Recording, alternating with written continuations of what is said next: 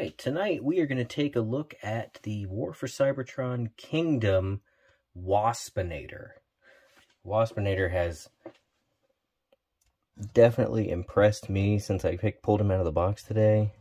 He's got these awesome, they're sort of transparent, they're translucent-ish, like you can kind of see through them, but there's also a glossy shine on them so that you can actually, see if I get the shine to catch, so you can make out all the details to these wings.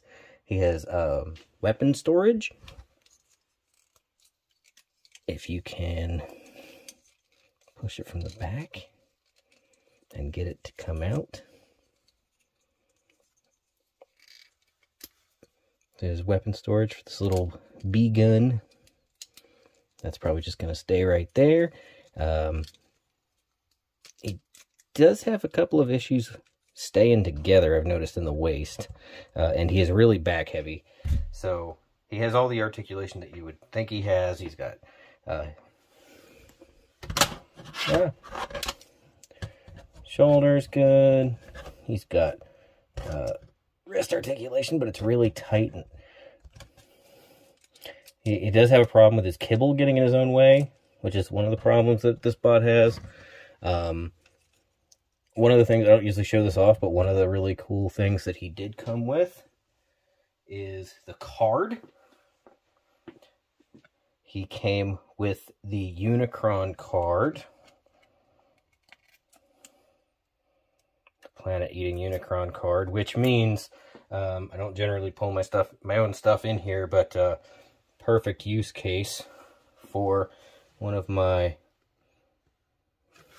card holders designed to try to line up with the lines on the card and then on the back you get the golden disc cut out. So that's where that will stay. Um, one of the cool things that just I found just playing with Waspinator is Waspinator also has a Gerwalk mode. So you start the transformation off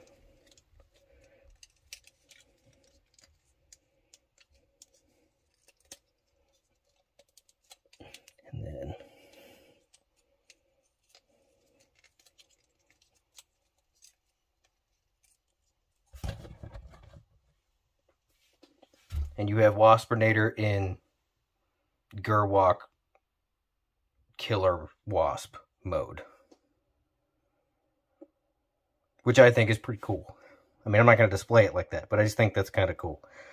It has no relevance to anything other than I just think it looks cool. Like I said, the, the, the weapon in his butt, I'm probably just going to leave there. Because it doesn't really look like a very good gun anyway. So, uh, let's see. Let me get him back in robot mode.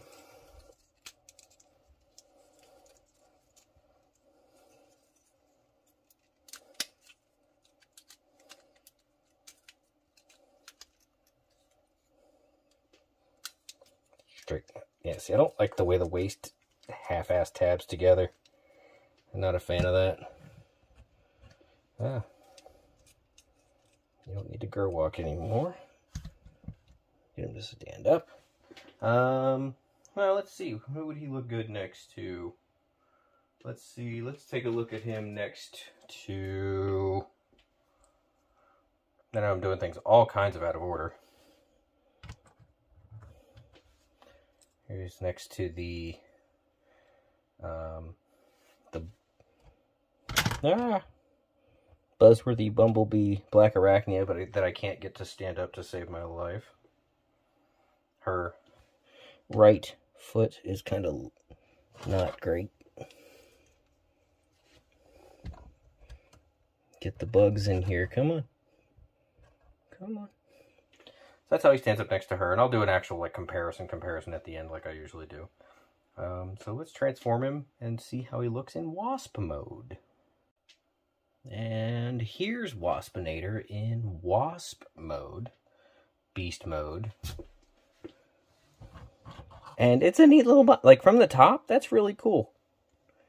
That's really, really cool. I, I like that, you know, the wings are on ball joints and you can, you can sweep them back.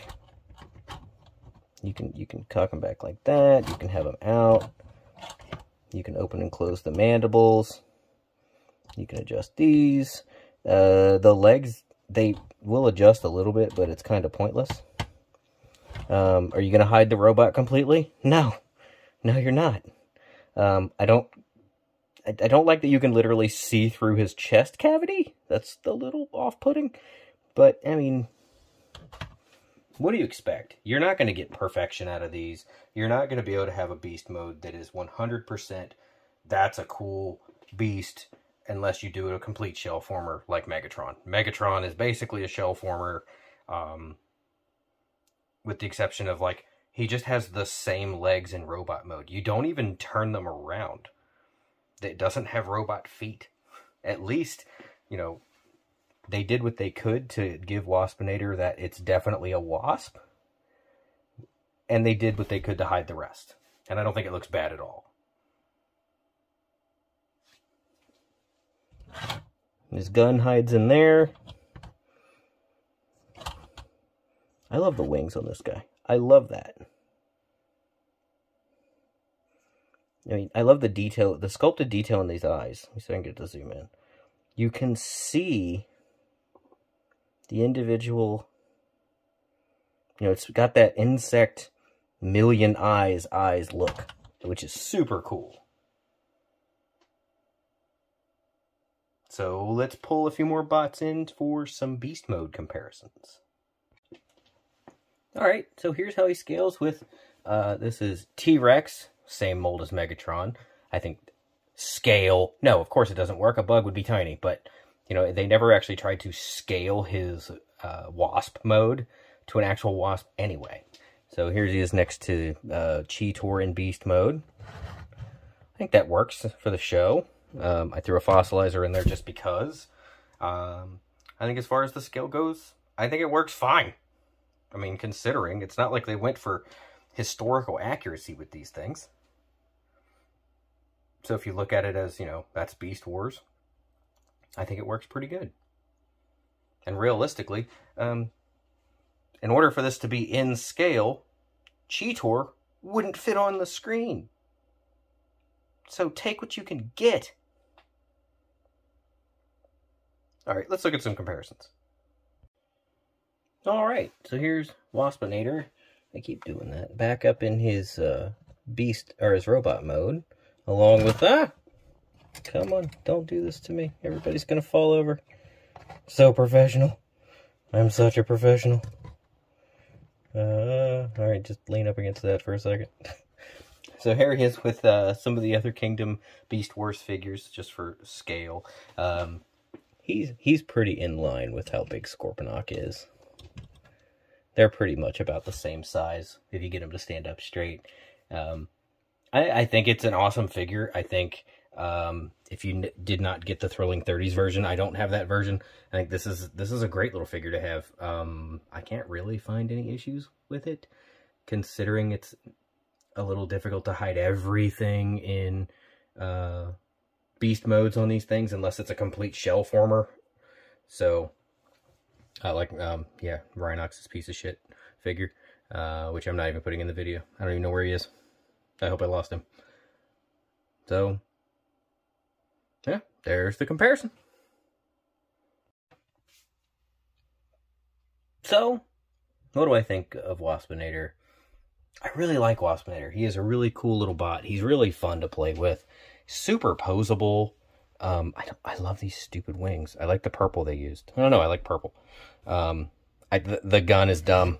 Like if you look underneath, it's it's just I don't like the gun. I'm I'm just gonna keep the gun uh, in his butt. He can just keep his gun up his butt and hand to hand, or I'll just make him a gun. Um, I'm really happy that I got the Unicron card.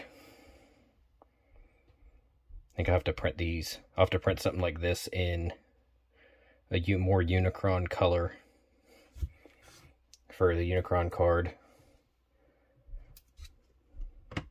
Link in the description um, for the download. But yeah, I, I really like this Wasp, Waspinator figure. I think he fits in really well with the rest of the line. Um, I don't know. I just I really like this one for some reason. You know, a couple of the bots that I've gotten were just kind of like, eh, that's neat. But for some reason, I love Waspinator. He might just end up on my desk and just play with him all the time. So, uh, yeah. So, don't forget to like, don't forget to subscribe, and YouTube, YouTube, YouTube. Later.